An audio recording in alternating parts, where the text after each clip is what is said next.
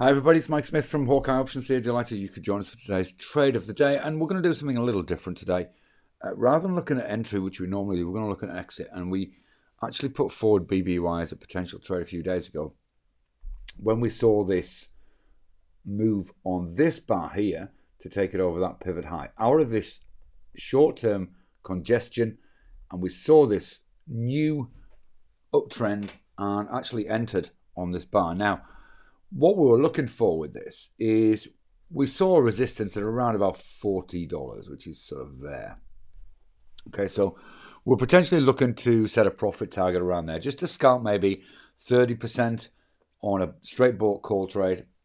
And of course, um, it uh, got pretty close to that last session.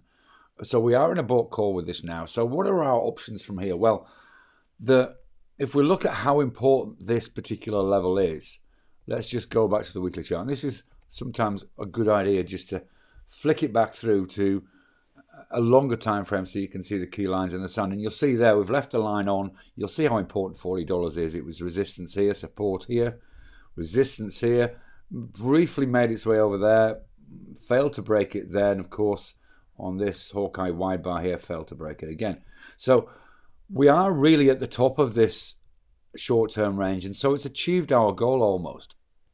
So, what we'll be doing really is setting for this particular trade a what we call a high stop. Now, by a, by a high stop, uh, we mean we're setting it higher than its current price and putting a time limit on it. So, for example, we may say that if it doesn't break $40 after the first half an hour, we take it off the table.